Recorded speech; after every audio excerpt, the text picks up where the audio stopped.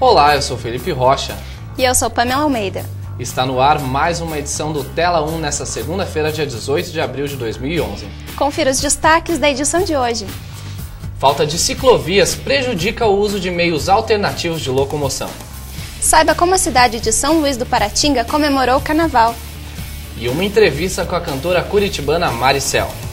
Essas e outras notícias agora no Tela 1.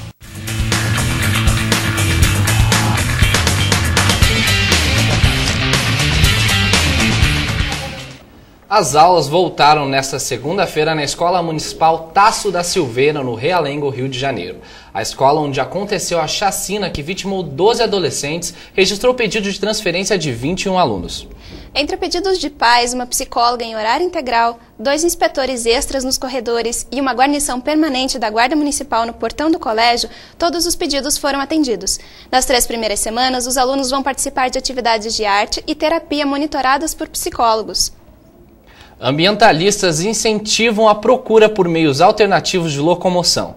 Entre elas está a bicicleta. Mas se a cidade não oferece infraestrutura adequada, o que fazer? Como será possível utilizar essa opção? Comprar o carro próprio ficou mais fácil e barato, mas a grande preocupação no momento é a poluição do meio ambiente.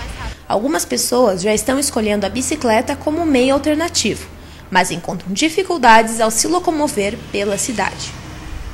As ciclovias estão em péssimo estado, no tanto que às vezes eu me, sou obrigado a andar nas canaletas do expresso, que eu, onde eu sei que só anda o expresso. Eu, particularmente, sou contrário ao uso da canaleta, mas por ela ser é, o local é, menos inseguro, eu não digo que é mais seguro, mas o local menos inseguro para o trânsito das bicicletas, eu ac acabo tendo que, que fazer o uso das canaletas. O principal problema é que não tem ciclovia, praticamente, né? Fora dos circuitos turísticos e de lazer nos parques, não tem ciclovia para você poder ir trabalhar, poder passear, poder ir no mercado usando a bicicleta como meio de transporte. Isso não existe.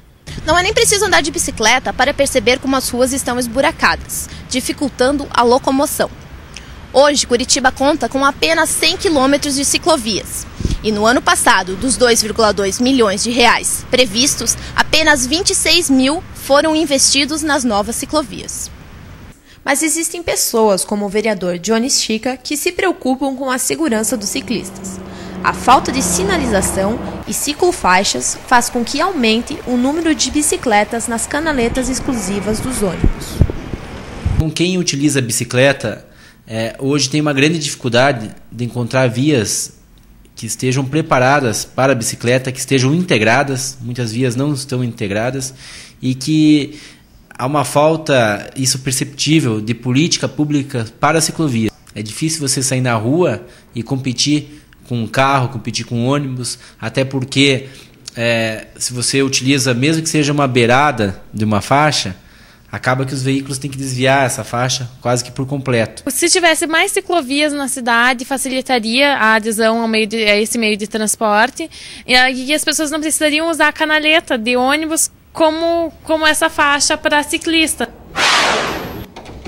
Um pacto de paz foi firmado entre facções rivais na Vila Torres, em Curitiba. Os moradores do bairro sofriam com a violência há 15 anos. As duas gangues disputavam controle do tráfico de drogas e eram compostas em grande parte por jovens. Os moradores da região comemoram a decisão. Essa segunda-feira escureceu mais cedo. Será que o tempo vai permanecer igual nessa terça-feira? Confira agora na nossa previsão do tempo. Curitiba amanheceu com poucas nuvens e o tempo ficou instável nessa segunda-feira. Já na terça vai haver pancadas de chuva à tarde. A máxima é de 25 graus e a mínima é de 14.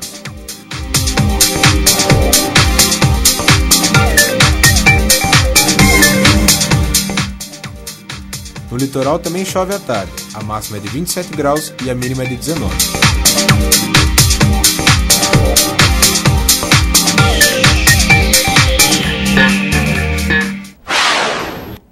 No próximo bloco, saiba como a cidade de São Luís do Paratinga comemorou o carnaval após as enchentes de 2010. Voltamos já.